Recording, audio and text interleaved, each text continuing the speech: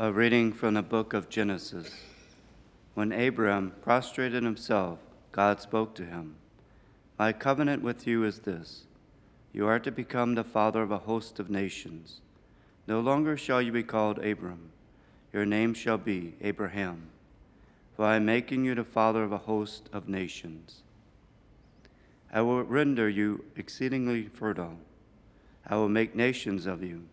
Kings shall stem from you. I will maintain my covenant with you and your descendants after you throughout the ages as an everlasting pact, to be your God and the God of your descendants after you. I will give to you and to your descendants after you the land in which you are now staying, the whole land of Canaan as a permanent possession, and I will be their God. God also said to Abraham, On your part, you and your descendants after you must keep my covenant throughout the ages. Verbum Domini.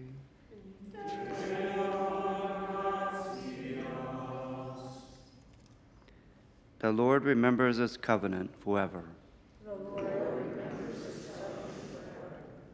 Look to the Lord in his strength. Seek to serve him constantly. Recall the wondrous deeds that he has wrought, his portents, and the judgments he has uttered.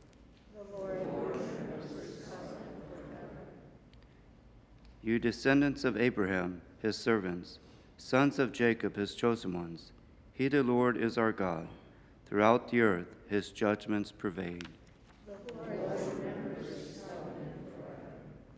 He remembers forever his covenant, which he made binding for a thousand generations, which he entered into with Abraham, and by his oath to Isaac.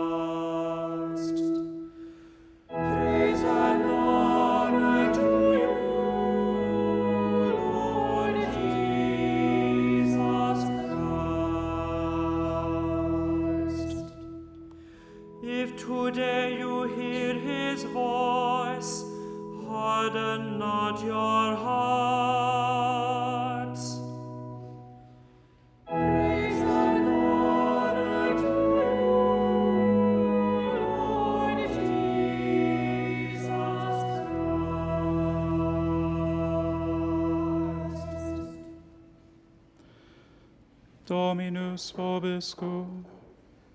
Et Lectio Sancti Evangelii secundum Ioannem. Gloria tibi, Domine.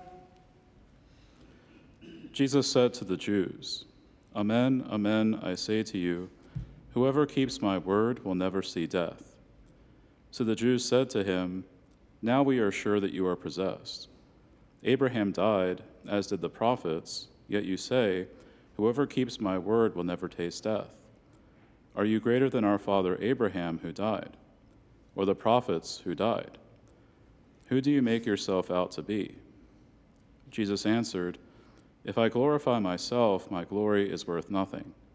But it is my Father who glorifies me, of whom you say he is our God. You do not know him, but I know him. And if I should say that I do not know him, I would be like you, a liar. But I do know him, and I keep his word. Abraham your father rejoiced to see my day. He saw it and was glad. So the Jews said to him, You are not yet fifty years old, and you have seen Abraham? Jesus said to them, Amen, amen, I say to you, before Abraham came to be, I am. So they picked up stones to throw at him, but Jesus hid and went out of the temple area. Verbum Domini.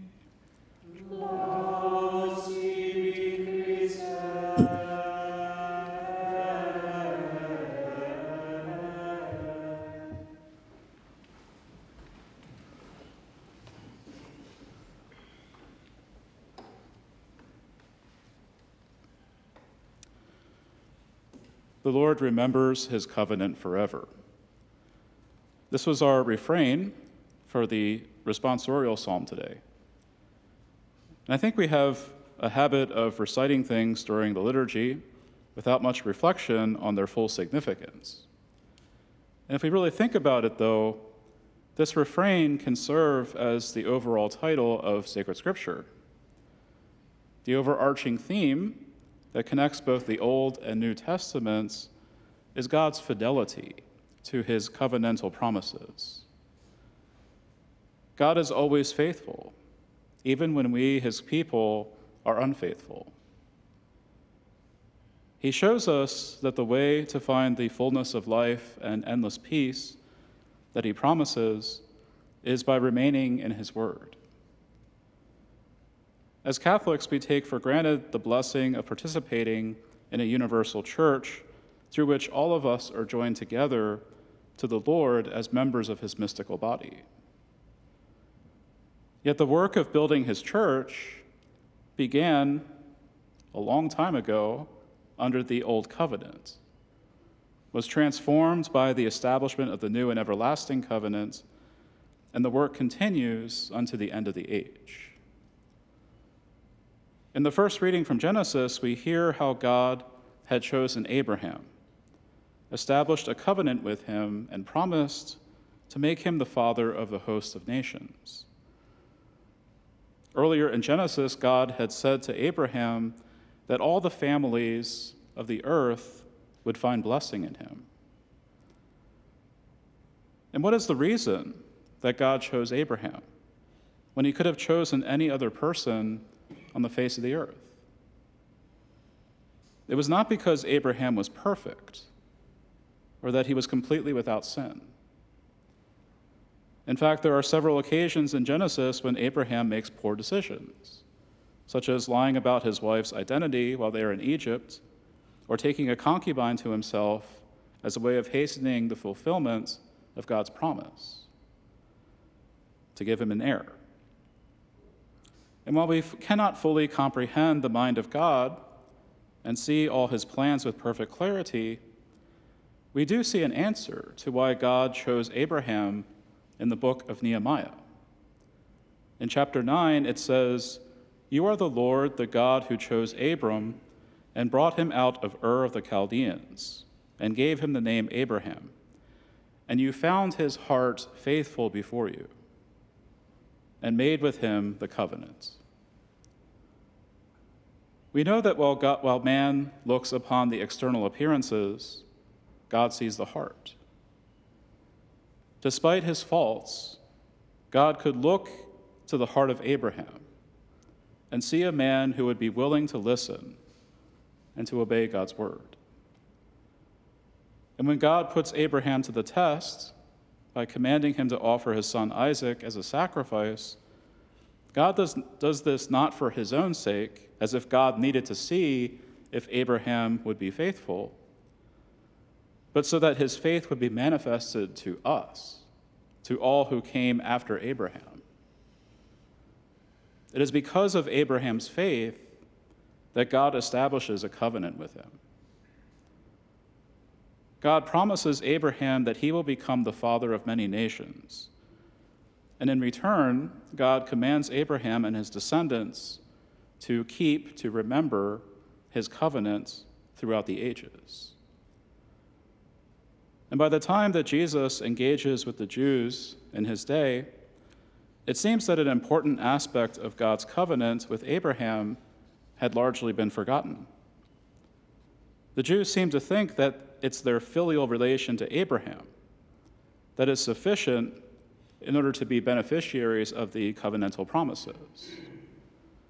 They take for granted the fact that they are physical descendants of Abraham, and they claim Abraham as their father. They are thinking of the covenant on a mere natural level, without considering the very reason that God had made the covenant with Abraham in the first place.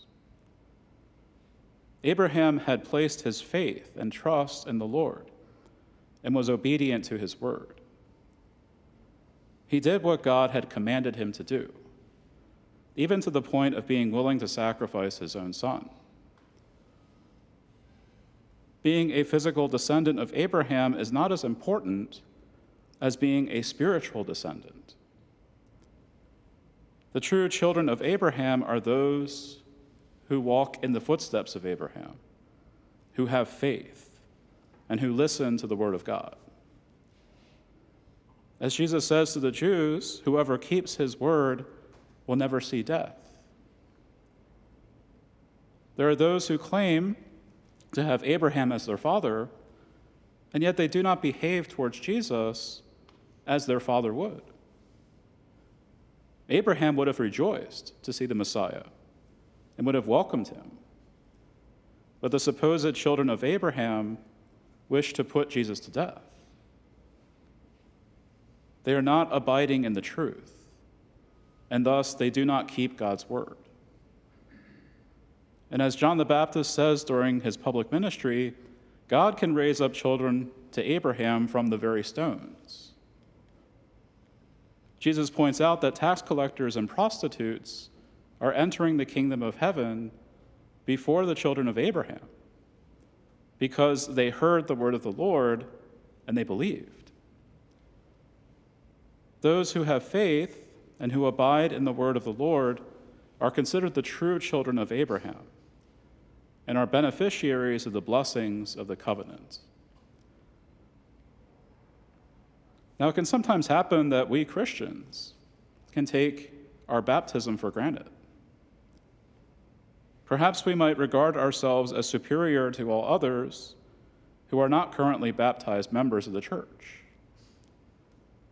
We might act as if our association with the church is enough to enter the kingdom of heaven. And yet, Jesus makes it clear that mere association is not enough for salvation. We must also keep the word of the Lord. We must abide in his word. As Jesus carries out the will of the Father through works of charity and mercy, so we are called to follow in his footsteps. If we are truly to be called children of the church, we are called to live according to the teaching of the gospel. It is not enough to call ourselves Catholics and to think that our simple association with the church is enough. If we continue to allow sin, anger, hatred, bitterness, bigotry, resentment, envy, lust, greed, and pride to remain in our hearts, then are we truly listening to the word of the Lord? we have full assurance that God is faithful to his word and to his covenantal promises. And it's our responsibility to be faithful to God in return, to turn to him with our whole hearts, and to serve him through good works.